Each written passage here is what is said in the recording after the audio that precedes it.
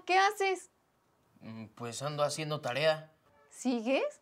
Hace cuatro horas que me fui a ayudarle a mi papá. Quedamos en que íbamos a ver el contenido para el canal y no has avanzado. Pues sí, es que soy perfeccionista. Pero si no has pasado de la misma página, Juanma. Yo sí quiero, pero el universo no me deja. No es que no te deje, es que no vas a terminar nunca sentado en el sillón viendo una repetición del programa de chismes. Ah, ya sé. Pero, ¿qué debo hacer? Esta vez no es tu culpa. Digo, no del todo. Parece que necesitamos algo de investigación. De los detectives rápidos y furiosos. Al momento de estudiar, el principal enemigo es uno mismo, ya que sin darnos cuenta elegimos un lugar que no nos motiva para poder concentrarnos. ¿Entonces somos los malos? Mm, no necesariamente, solo que debemos ser conscientes de la importancia de crear un buen ambiente de estudio. Yo digo que cualquier lugar es bueno para estudiar. Digo, cuando uno quiere y tiene las ganas, lo hará sin importar qué. ¿No?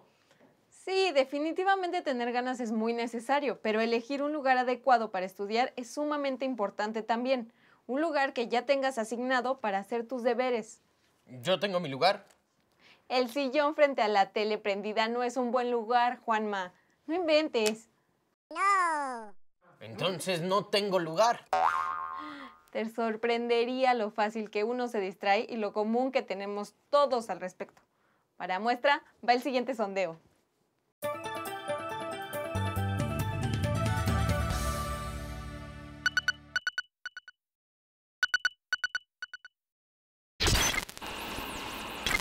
¿Te distraes a la hora de estudiar?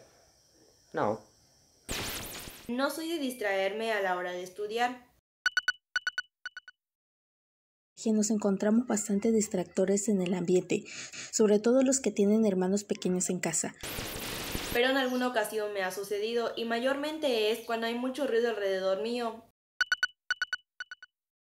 Pero lo importante es buscar estrategias para generar un ambiente que nos permita estudiar. En esta odisea por encontrar y crear un ambiente de trabajo sin distracciones, algunos de nuestros compañeros nos recomendaron cambiarnos a una silla en vez de estar en un sofá o en una cama para evitar quedarnos dormidos cuando estamos haciendo nuestros deberes.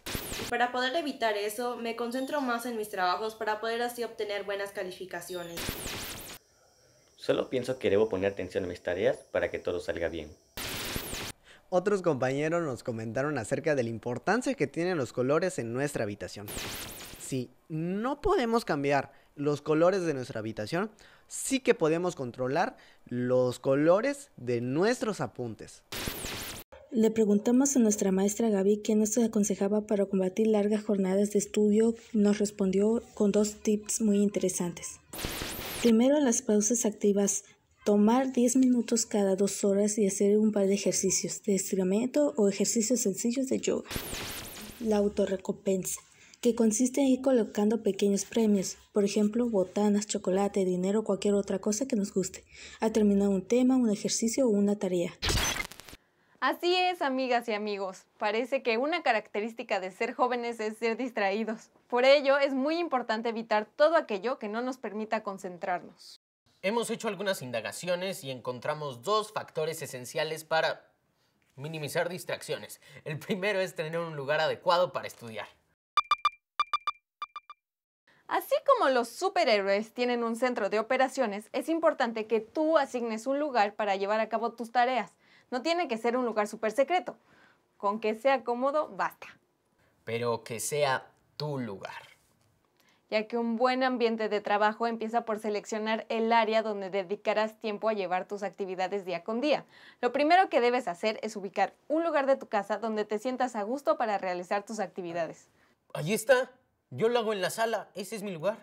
Sí, pero debe de ser un lugar sin distracciones. Si trabajas frente al televisor u otros distractores, no lograrás terminar las labores que estás desempeñando. Entonces en la cocina es un lugar tranquilo. Juanma, ¿te acuerdas por qué casi truenas el día que entregamos el ejercicio de la tabla periódica? Porque llegué tarde. ¿Y?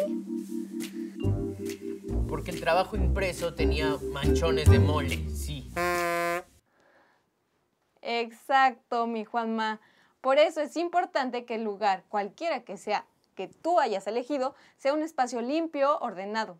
Yo digo que deberíamos implementar de inmediato estas dos recomendaciones. Te tomo la palabra, Citla. Comencemos por diseñar mi espacio de estudio ideal. Bienvenida, Citla. Bienvenidos amigos y amigas a mi guarida. No está mal, ¿eh? Algo desordenado, sí, pero no estamos aquí para juzgar, sino para hablar de cómo puedes mejorar tu espacio de trabajo. Me agrada esa actitud, Citlali. Actúas como toda una profesional. Y como puedes ver, aquí no hay televisión. Empecemos por trabajar con esa silla y tu escritorio. Mm, creo que en eso no hay tanto problema. Funcionan para lo, pa lo que son. ¿A poco no te duele la espalda cuando trabajas? Esa silla es demasiado baja para tu escritorio. Te escucho. Y, y tienes razón, ¿eh? Tienes razón. Seguro te duele el cuello. Sí, pero pensé que era normal después de estar tantas horas en clases a distancia.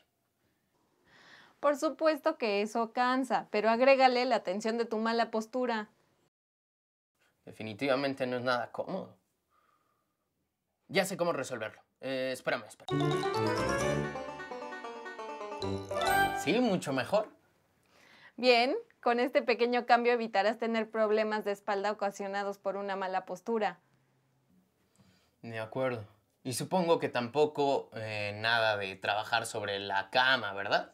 Exactamente, porque además corres el riesgo de quedarte dormido.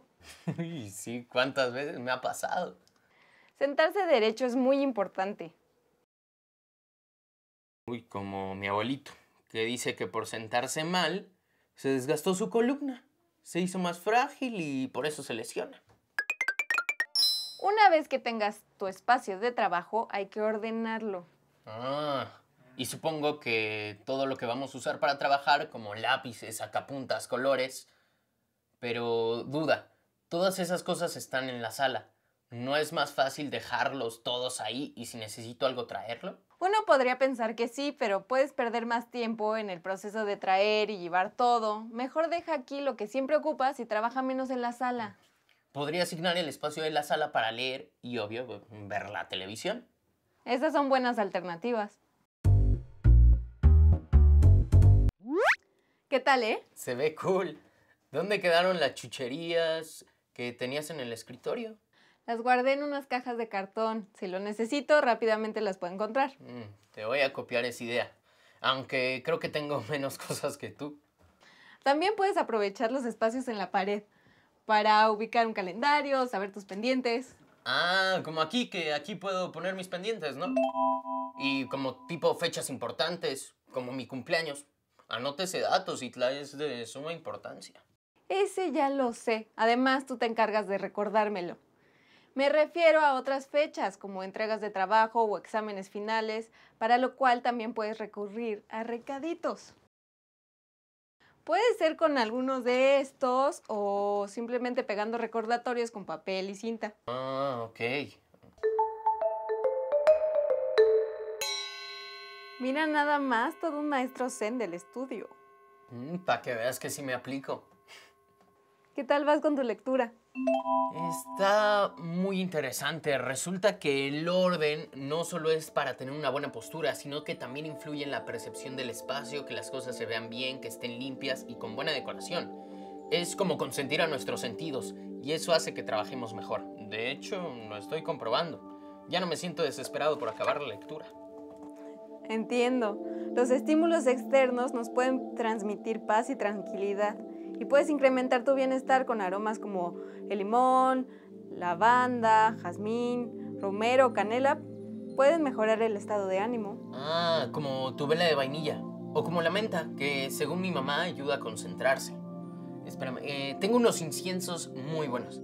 Voy a buscarlos. Va, nada más procura que el olor no sea excesivo y haya ventilación. De lo contrario, sucederá que en lugar de tranquilizarte, te generará malestar. Te informo que eso de la aromaterapia no me funcionó. Acabé con dolor de cabeza. Pues es que ya me imagino tus inciensos bien potentes.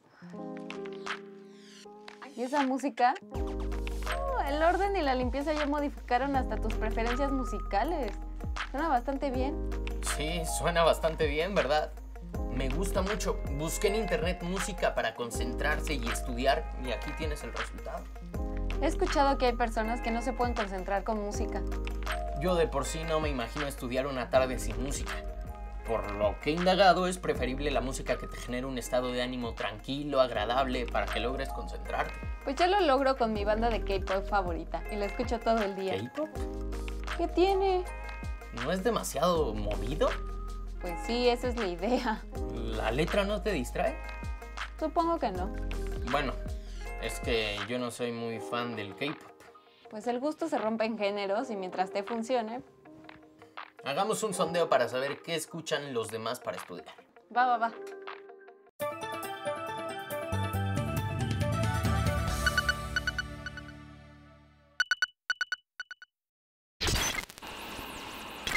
En cuanto a escuchar música al momento de estudiar me gusta mucho, ya que me relaja y puedo trabajar mejor. Yo cuando me enojo bastante, bastante así mucho, agarro este sillón, llego, me siento, agarro mi teléfono, le conecto los audífonos, empiezo a escuchar música, ya empiezo a escuchar música por cierto tiempo, me relajo, me tranquilizo y una vez tranquilizado ya veo la- las cosas de manera diferente, ya lo veo más relajado, más tranquilo, con la mente fría.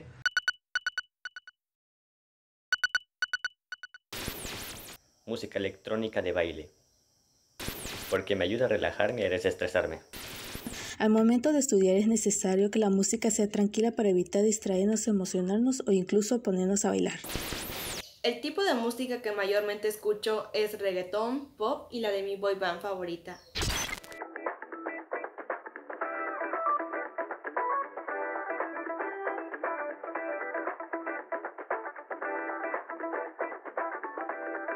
Por lo que hemos escuchado, la música es un excelente acompañante para el estudio. Y mientras te guste, pues se vale escuchar lo que sea. Hasta cierto punto, Juanma, porque a veces la música puede ser un distractor y en lugar de estudiar terminamos bailando o cantando.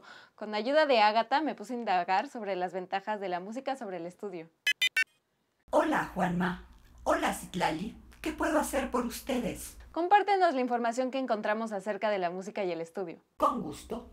Cuando escuchamos música, nuestro cerebro comienza a generar dopamina. ¿Dopamina? Esta hormona influye en la memoria, mejora los procesos cognitivos, de motivación y además produce placer y tranquilidad. Esto puede hacer que mejore nuestro rendimiento y capacidad de concentración. Son como las espinacas de Popeye o la estrella dorada en Mario Bros. Además, aumenta la felicidad y nos predispone a una mejor asimilación de lo que estamos por estudiar. La música es vida y movimiento. Vida y movimiento cerebral. Ya que al escuchar música se activan ciertas partes del cerebro que hacen que mejore tu concentración, tu capacidad de resolución de problemas y tu memoria. Aunque esto no sucede con todo tipo de música, lo recomendable es música tranquila y suave, aunque no demasiado. Sí, nada de canciones de cuna. La música nos permite centrarnos en la tarea que estamos realizando y concentrarnos en lo que estudiamos. Yo siempre me concentro con música. Ciertamente sí. Incluso puede permitirte eliminar distracciones. Cuando estudias es muy fácil que escuches conversaciones de otras personas, ruidos de la calle, ladridos, vendedores.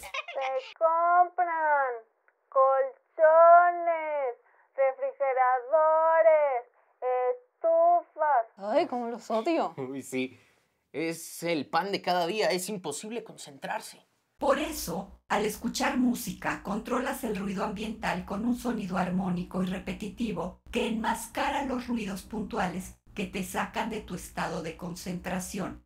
Pero entonces, ¿qué música es la mejor para concentrarse? Existe una gran variedad de opiniones al respecto. La mayoría de teorías apuntan a que existen determinados estilos musicales que parecen más idóneos para estudiar, como pueden ser la música clásica, la música New Age, el chill out o los sonidos de la naturaleza. La naturaleza.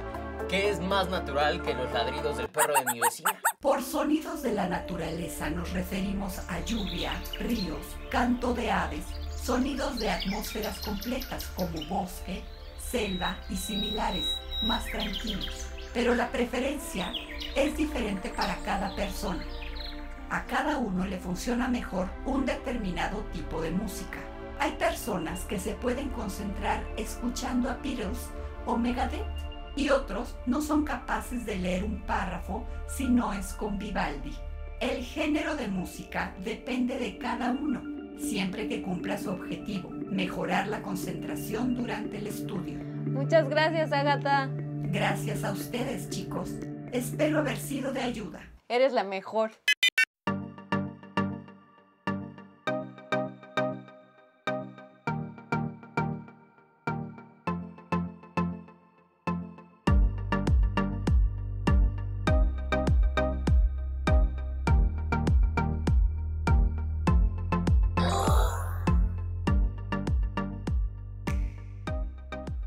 Por supuesto que la música también sirve para relajarse, tomar una pausa después de los periodos de concentración. Y ya que andamos tan relajados, creo que es momento de nuestro ranking de recomendaciones ninja. Ahí les van nuestras recomendaciones ninja musicales. Música tranquila y armoniosa, sin demasiadas estridencias. Música clásica, chill out, ambiental o las bandas sonoras. Si no logras concentrarte con música, prueba con sonidos de la naturaleza, olas del mar, pájaros cantando, un río corriendo. Si el contenido que tienes que realizar es, digamos, mecánico, como ejercicios de mate, lo mejor es que escuches es música un poco más movida, que te ayuda a motivar. De lo contrario, lo más conveniente es que te inclines por música más pausada. No te pases con el volumen. Está muy bien que te aísles del mundanal ruido, pero no pongas muy alta la música si lo que quieres es estudiar. Lo mejor, un volumen medio bajo para conseguir mejor concentración. Puedes crear una lista de reproducción o playlist para estudiar. Así evitarás tener que estar buscando canciones cada 5 minutos. Las listas musicales te ayudarán a marcar un ritmo de estudio. Por ejemplo, puedes escuchar una de dos horas para estudiar sin interrupciones. Y cuando hayas tomado un descanso, de vuelta con otra playlist. Evita escuchar programas o audios con interrupciones de presentadores o interlocutores. Si eres fan de un podcast, puedes escucharlo cuando se trate de trabajos mecánicos que no requieran toda tu concentración. Que colorear un dibujo o pegar cosas en una maqueta, pues ahí sí puedes escuchar lo que más te gusta y te haga sentir bien.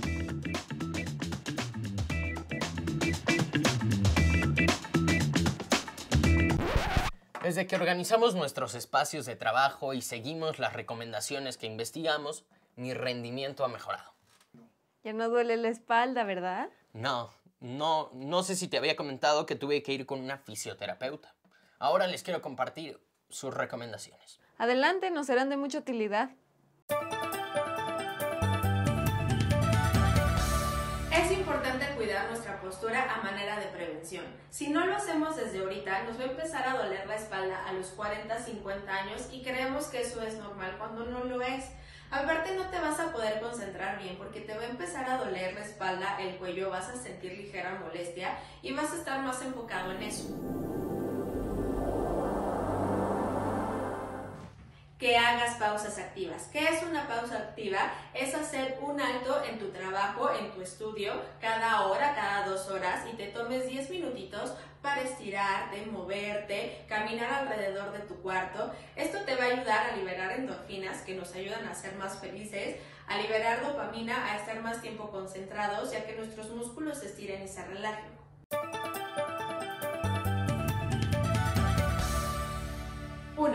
Trabajar en tu cama, en el piso o en el sillón de tu casa. Es importante que tengas un escritorio y una buena silla. Si no cuentas con ello, el comedor de tu casa puede servir.